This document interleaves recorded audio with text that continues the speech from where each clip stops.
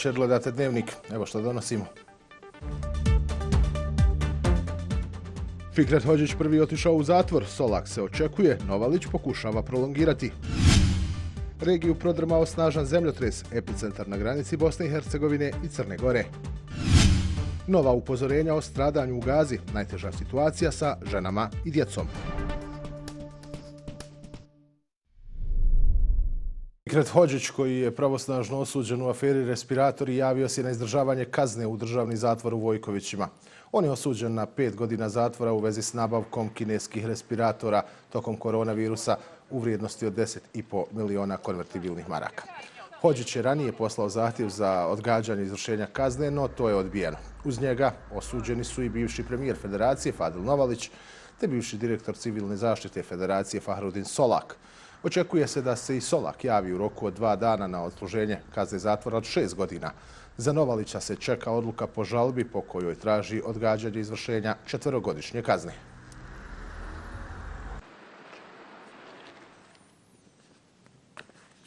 Uskoro ćemo pogledati intervju sa vršiteljicom dužnosti predsjednice Suda Bosne i Hercegovine, Mikom Kreho, razgovarale kolege sa Balkanske istraživačke mreže Bosne i Hercegovine.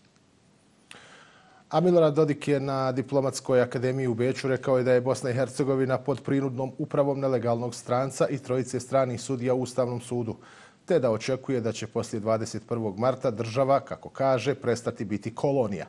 Akademiju o trenutnoj situaciji u BiH te dogovoru o nizu reformi koje moraju biti sprovedene organizovala je ambasada naše zemlje u Austriji. Osim Dodika, govorili su i predsjednik SDP-a Nervin Nikšić i predsjednik HDZ-a Dragan Čović.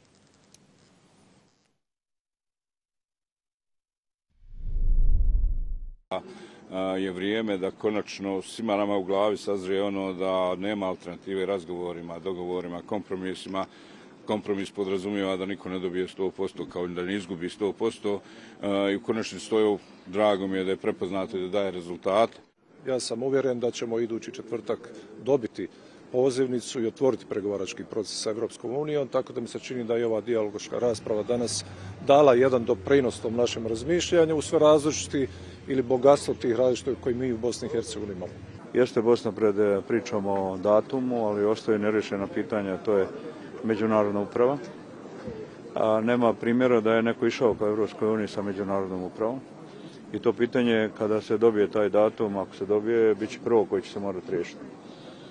Ili će Evropa mora da prikaže ili kaže da može da se kreće dalje sa tim međunarodnom upravom i da je to neki novi evropski standard.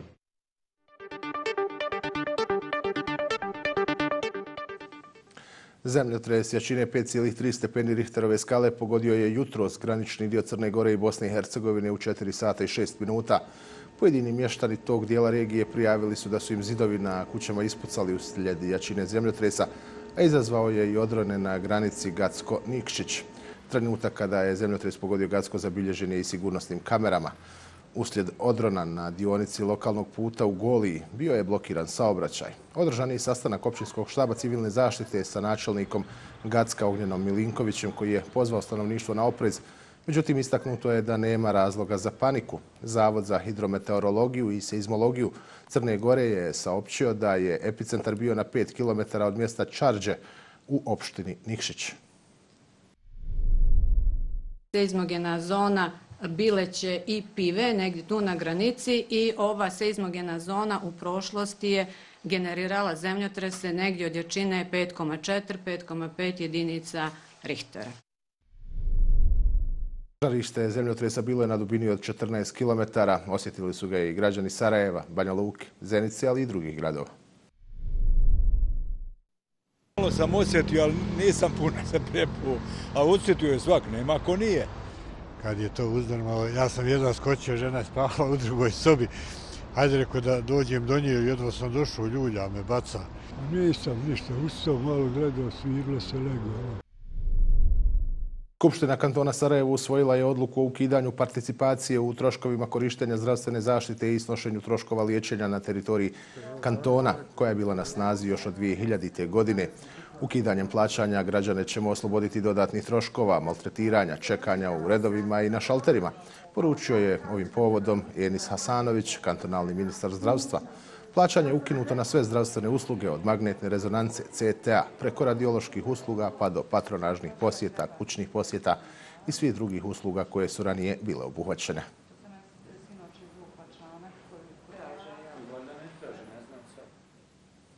Prolaznici ulicom Ferhadija u Sarajevu mogli su danas vidjeti poredane cipele sa ciljem odavanja počasti svim građanima glavnog grada Bosne i Hercegovine koji su ubijeni tokom opsade. Riječ je o projektu stazom sjećanja 11.541 koju Memorialni centar Sarajevo provodi u saradnji sa gradom. Iz Memorialnog centra pozivaju građane da se priključe akciji i doniraju cipele. Realizacija projekta traje od 5. marta do 5. aprila u okviru kojeg je planirana i postavka 11.541 para cipela koje će simbolizovati korake građana Sarajeva koji su ubijeni tokom opsade grada. Po okončanju projekta cipele će biti sačuvane trajno kao dio staze sjećanja koja će biti izgrađena u memorialnoj šumi koju će memorialni centar graditi na lokaciji Hrasnički stan na planini Igman.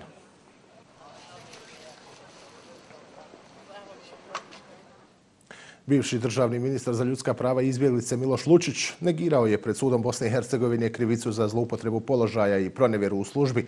Krivicu su negirali i ostali optuženi Siniša Papaz, Dalibor Šehovac i Mirko Ristović. Početak suđenja biće zakazan naknadno prenosi Birn.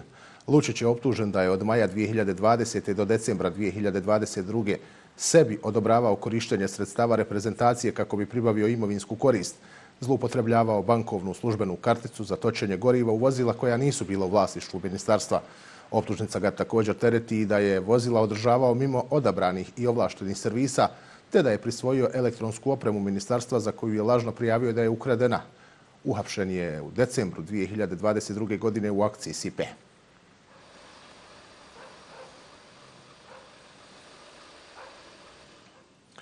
A kao što smo i najavili, u nastavku ćemo pogledati intervju sa vršiteljicom dužnosti predsjednice Suda Bosne i Hercegovine Mikom Kreho. U razgovoru sa kolegama sa Balkanske istraživačke mreže BiH govorila između ostalog o hapšenju suspendovanog čelnika suda Ranka Debevca te procesu koji se vodi protiv Dodika, ali i presudi Fadilu Novaliću. Tri mjeseca uhapšen je suspendovani predsjednik suda Bosne i Hercegovine Ranko Debevec. Od tada javnost prati sva dešavanja vezana za ovaj slučaj i otvorena su brojna pitanja. Na neka od njih odgovor tražimo u sudu gdje razgovaramo sa sudijom Minkom Kreho. Za početak, gdje ste vi bili, kako ste vi saznali za ovo hapšenje? Za hapšenje sam saznala u autu. Obzirom da sam sudila do kasno, izašla iz sudnice i krenula kući i na radiju sam čula da je uhapšen naš predsjednik. Naravno, svi smo bili u šoku. Niko ništa nije mogao da priča, u stvari ništa nismo ni znali, nego samo šta bi, što. Kako je moguće da ljudi koji provedu većinu dana na poslu u sudu ne znaju da se prisluškuje toliki broj sudija i tužilaca, kako je rečeno na ročištima. Da li je iko išta posumnjao? Da li ste vi ikada u vašem e, radu posumnjali e, u predsjednika Debevca? Niko od nas o tome nije ni razmišljao, niti se predsjednik nekako ponašao da bi to mi mogli da pomislimo da se to radi. I ne znamo da li se to radilo tako, zbilje. Obzirom da ste vi postali VD predsjednica suda, da li ste primijetili e, nepovjerenje, e, nemir među uposlenima? Ja sam tad zamolila sviju samo da nastavimo rati, da održimo dignitet nekih suda, da ga pokušamo vratiti ugled ovog suda, da radimo po zakonu, da nema priče ni o čemu. Postupak protiv predsjednika vode tužilaštvo i sud, to je Baška, a ovo vamo mi moramo rad svoj posao da održi se sud na nogama. I mislim da smo do sada pokazali da je sud nastavio raditi, da radi uspješno. Sami ste spomenuli ugled. E, koliko je ovo hapšenje prema vašem mišljenju naštetlo ugledu institucije? Naravno da je naštetlo. Toga smo mi svi svjesni. Zato i pokušavamo na neki način pokazati sud je ostao, sud će biti i dalje i sud će raditi svoj posao za koji je i osnovan. Javnost je mnogo pratila predmet respiratori još od pandemije koronavirusa pa do nedavno okončane konačne presude. Međutim, ono što je interesantno da je ta presuda procurila upravo u medije prije saopštenja iz suda Bosne i Hercegovine i prije nego što je presuda dostavljena strankama u postupku. Kako vi vidite to curenje informacija? Ne znam, sigurno e, znam da sa suda nije niko rekao. E, sud kurirom pošalje odluku bilo koju, pa eto i tu drugostepenu presudu, tužilaštu koje je 15-20 metara od nas. A branioci, ako se na, zatekli u sudu, na nekom ročištu, kada izađu iz sudnice, dobiju u ruke tu presudu. A poštom ide optuženim, odnosno tad pravosnažno osuđenim licima. Kako je procurilo, sigurno i suda nije. Ne znam. Sada kada ste na funkciji VD predsjednice suda, E, kakav je vaš plan po pitanju transparentnosti? Mislite li da ćete biti više otvoreniji prema javnosti, možda organizovati konferencije za medije, e, sve što nismo vidjeli za vrijeme dakle, e, Ranka Debevica? Ja mislim da smo mi i ranije bili otvoreni. Javnost je uvijek bila upoznata i web stranca na kojoj se oglašavaju odluke suda, ročišta su javna, tu je sve. Ali mislim, konferencija za štampu, predsjednik suda i VD predsjednik suda i sudija, šta na toj konferenciji da priča? O predmetima ne može pričati. O predmetima sud priča o svojim odlukama. Nedavno je počeo u ovom e, sudu i predmet protiv Vildana Ključe koji je optužen za terorizam. Ono što je nama bilo interesantno da je optuženi odbio da ustane e, kod predstavljanja i nakon toga nije objasnio svoje razloge. Njegove razloge objasnio je advokat rekavši da je u pitanju e, da su u pitanju njegovi vjerski razlozi, nakon čega ga je sutkinja Vesna Jesenković udaljila iz sudnice i opomenula za nepoštivanje suda. Vi ste to isto učinili na ročištu za izjašnjenje o krivici. Međutim, s druge strane imamo predmet Milorada Dodika koji također na izjašnjenju nije objasnio razloge zašto nije ustao u sudu, e, što je konstatovano u sudnici, ali on nije udaljen iz sudnice. Zbog čega takva razlika u postupanju i boji li se sud kazniti Milorada Dodika za nepoštivanje suda?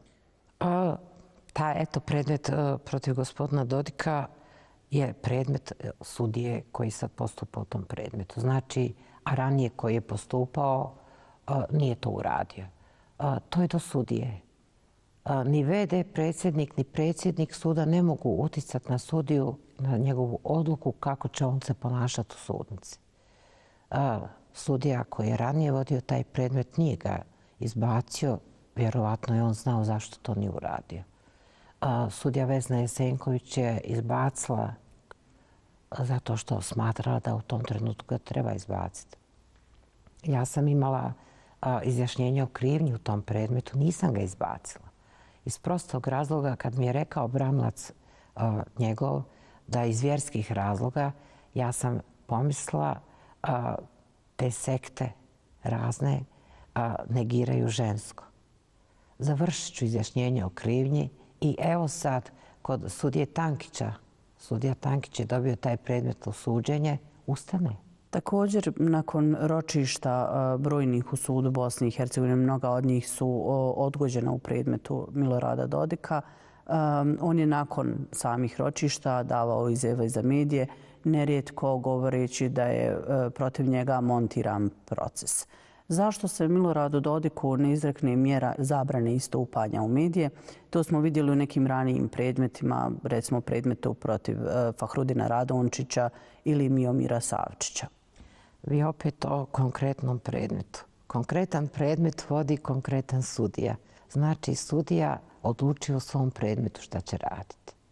Tako da ja o tome ne mogu komentarisati koliko utiču izjave protiv sudija ovog suda, protiv ove institucije na same sudije? Većina kolega e, iz ovog suda se ne bavi tim, ne čita portale, neće da se bavi takvim stvarima, nego gleda u predmet da li ima dokaza ili nema dokaza. I to je završena priča. A postoje organi koji gone, koje to i prekršajno kazne, mogu i krivično kažnjavati i oni, oni trebaju da rade svoj posao a mi treba da se skoncentrišemo na svoje predmete i da ih sudi. Evo sada ste na čelu institucije LVD, predsjednica suda. Da li ste čuli izjave Dodika da su sudje i tužioci egzekutori, e, da rade pod ingerencijom stranaca? Da li ste imali priliku pročitati ili čuti tu izjavu? Pročitala sam, nisam gledala i trebaju da rade drugi ljudi svoj posao. Generalno me zanima, je li osjeća sud Bosne i Hercegovine političke pritiske ili prijetnje? Pojedinačno sudije, koliko ja znam i koliko se družim sa kolegama, ne.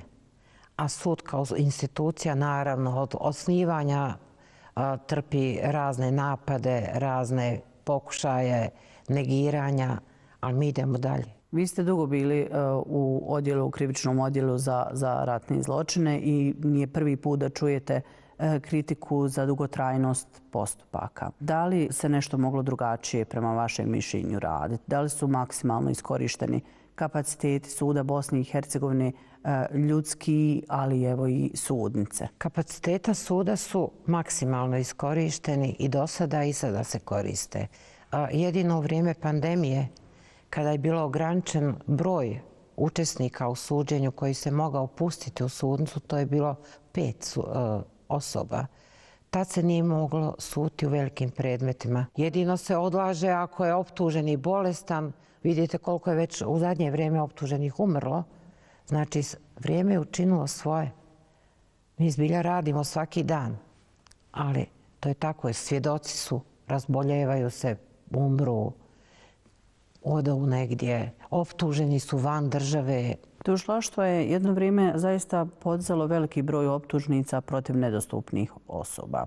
Smatrate li da je tako uzalud trošeno vrijeme i resursi tužilaštva? Ove godine je manje tih predmeta, ali bilo ih je jako puno ranijih godina i dobro što su to predmeti, ako su predmeti ratni zločin protiv civilnog stanovništva ili ratnih zarobljenika.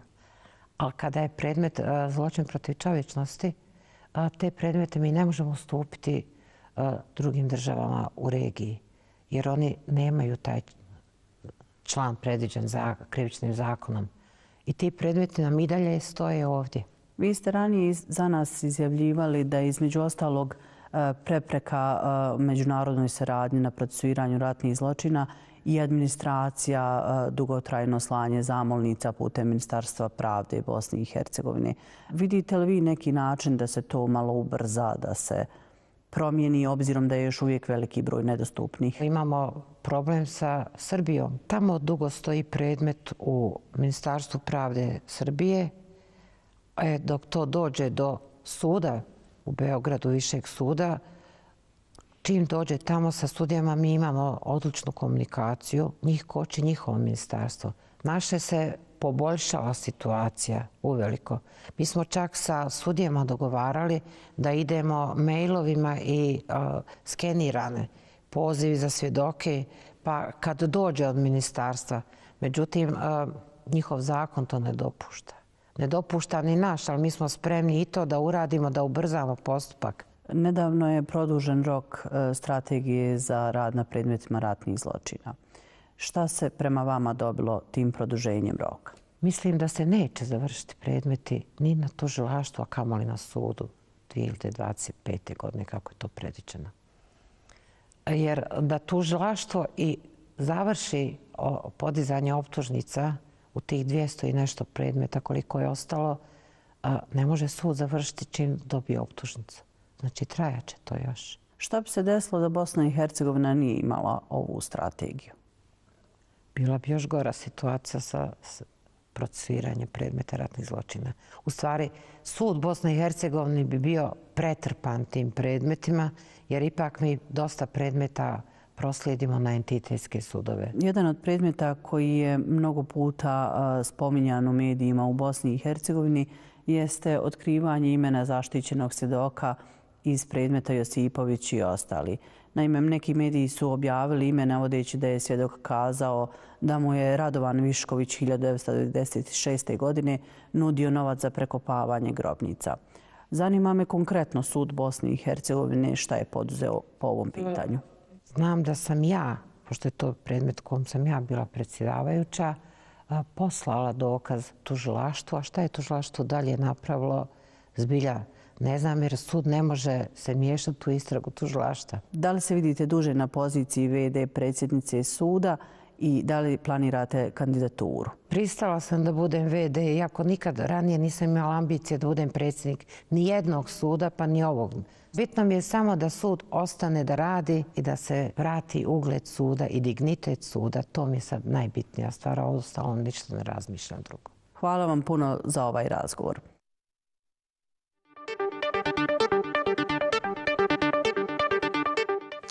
Svaka osoba koja se sloni u grad Rafah živi sa mišlju kada će doći na red da umre, odnosno čeka trenutak kada će biti ubijena, poručila je palestinska ministrica za ženska pitanja. Govorila je i o napadima za genocid optuženog Izraela, očekivanjima palestinskog naroda od međunarodne zajednice i opštoj situaciji u pojasu Gaze. Istakla je da je situacija u pojasu Gaze katastrofa bez presedana.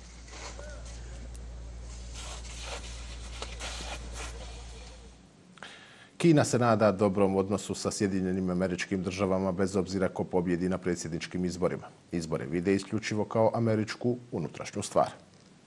Kina se nada da će raditi sa Sjedinjenim američkim državama na stabilnom, zdravom i održivom razvoju bilateralnih odnosa, bez obzira ko pobedi na američkim predsjedničkim izborima, rekao je port parol Ministarstva spoljnih poslova Van Wenbin.